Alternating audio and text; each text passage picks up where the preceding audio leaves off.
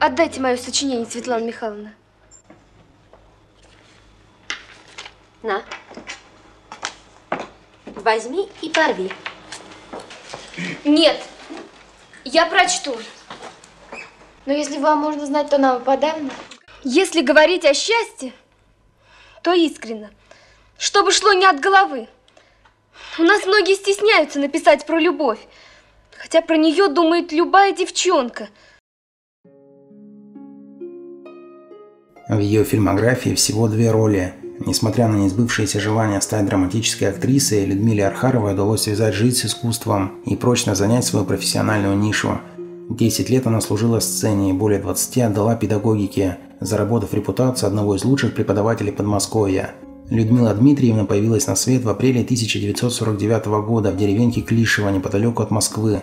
Ее родители были обычными тружениками, никак не связанными с творчеством. В девочке же, напротив, рано проявились артистические задатки. Она замечательно пела и в 1968 поехала на поступление в столицу. В Москве абитуриентка отправилась в Щукинское училище, но по конкурсу туда не прошла. Чтобы не терять времени даром, девушка поступила в педучилище номер два, окончив которое недолго преподавала в школе городка Раменская. В начале 70-х Архарова решила еще раз испытать себя, подала документы в ГИТИС и поступила. На факультете музыкальной комедии Людмила считалась лучшей студенткой своего потока. В 1976 она выпустилась из вуза с красным дипломом. В кино Людмила Дмитриевна успела сняться дважды – в конце 60-х, во время неудачных экзаменов в Щукинском училище, девушке повстречался кто-то из помощников Станислава Ростоцкого. Станислав Иосифович находился в поиске юных актеров для картины «Доживем до понедельника», и Люду позвали на пробы.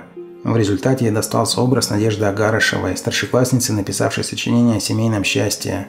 Я, например, хочу встретить такого человека, который любил бы детей, потому что без них женщина не может быть по-настоящему счастливой. Если не будет войны, я хотела бы иметь двоих мальчиков и двоих девочек. Да, двоих мальчиков и двоих девочек. Год спустя Архарову пригласили в фильм режиссера Григорьева «День и вся жизнь». В образе героини второго плана она снялась в нескольких эпизодах киноповести – в 1971 судьба чуть не подарила Людмиле шанс вновь попасть на экраны.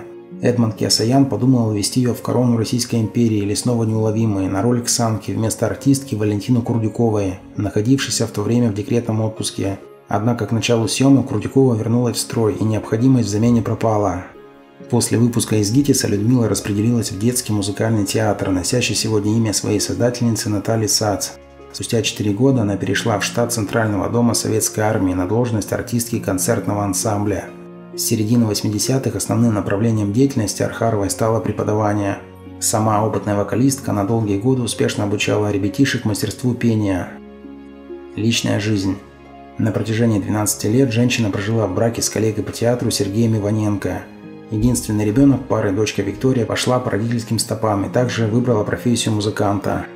В последние годы актриса руководила детским хором, организованным при воскресной школе одного из подмосковных приходов.